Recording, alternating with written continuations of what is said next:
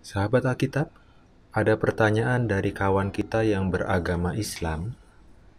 Dia bertanya, mengapa Kristen menyembah utusan? Lalu dia menunjukkan satu ayat di dalam Injil, yaitu Injil Yohanes pasal 6 ayat 28 sampai 29. Lalu kata mereka kepadanya, "Apakah yang harus kami perbuat supaya kami mengerjakan pekerjaan yang dikehendaki Allah?" Jawab Yesus kepada mereka, "Inilah pekerjaan yang dikehendaki Allah, yaitu hendaklah kamu percaya kepada Dia yang telah diutus Allah."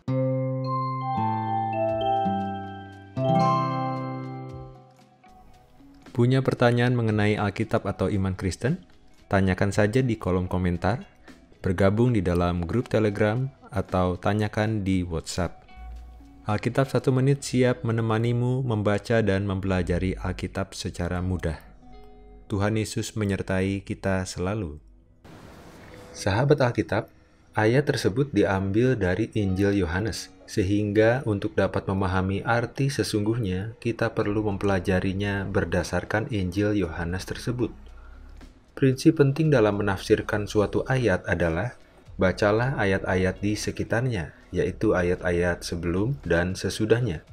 Bacalah pasal-pasal sebelumnya dan sesudahnya.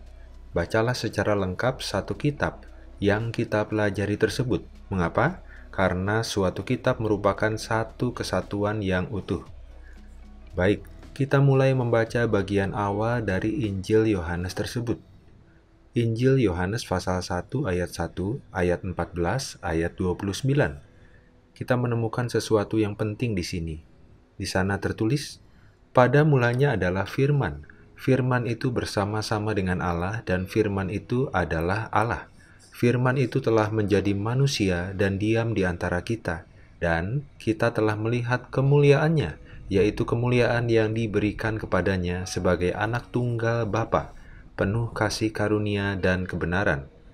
Pada keesokan harinya, Yohanes melihat Yesus datang kepadanya dan ia berkata, Lihatlah anak domba Allah yang menghapus dosa dunia. Sahabat Alkitab, Injil Yohanes dibuka dengan fakta yang mengatakan bahwa Yesus Kristus adalah Sang Firman, yaitu Allah yang menjadi manusia. Jadi, kita mendapatkan informasi penting bahwa Yesus Kristus sebagai utusan dalam pertanyaan tersebut bukanlah sebagai manusia biasa. Terbukti lewat pembukaan Injil Yohanes. Melalui ayat-ayat tersebut, Allah mengajar kita bahwa Sang Firman yang adalah Allah telah menjadi manusia, tinggal di antara kita. Kapan hal itu terjadi? Sekitar 2000 tahun yang lalu, yaitu di awal abad Masehi. Sang Firman yang menjadi manusia dikenal dengan sebutan ilahi, yaitu Anak Allah, dan namanya adalah Yesus Kristus. Sahabat Alkitab, sekarang kita baca beberapa pasal berikutnya, dan kita mendapatkan sesuatu yang sangat menarik di dalam Injil Yohanes pasal 3 ayat 17 sampai 18. Di sana tertulis, sebab Allah mengutus anaknya ke dalam dunia bukan untuk menghakimi dunia, melainkan untuk menyelamatkannya oleh Dia. Barang siapa percaya kepadanya, ia tidak akan dihukum. Barang siapa tidak percaya, ia telah berada di bawah hukuman, sebab ia tidak percaya dalam nama Anak Tunggal Allah. Setelah membaca Injil Yohanes tersebut, jelaslah bagi kita semua bahwa yang diutus oleh Allah adalah Anak Allah, Sang Firman yang telah menjadi manusia, yaitu Yesus Kristus. Jadi, Yesus Kristus bukan sekedar nabi, bukan sekedar manusia biasa. Yesus Kristus, anak Allah, diutus ke dalam dunia untuk menyelamatkan orang-orang yang mau percaya kepadanya, sehingga semua yang percaya kepadanya tidak akan dihukum. Bagaimana dengan orang-orang yang tidak mau percaya kepada Yesus Kristus, Anak Allah yang diutus oleh Allah? Mereka tetap berada di bawah hukuman karena semua orang telah berdosa. Jadi, bukan karena tidak percaya lalu dihukum, tetapi karena orang-orang sudah berada di dalam hukuman karena berdosa, sejak zaman Adam dan Hawa. Sahabat Alkitab, kita kembali ke ayat yang dipertanyakan. Injil Yohanes pasal 6 ayat 28 sampai 29.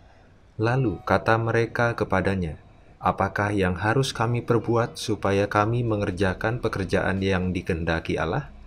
Jawab Yesus kepada mereka, Inilah pekerjaan yang dikehendaki Allah, yaitu hendaklah kamu percaya kepada Dia yang telah diutus Allah. Kita segera dapat mengambil kesimpulan yang benar setelah mempelajari ayat-ayat di sekitarnya di dalam Injil Yohanes.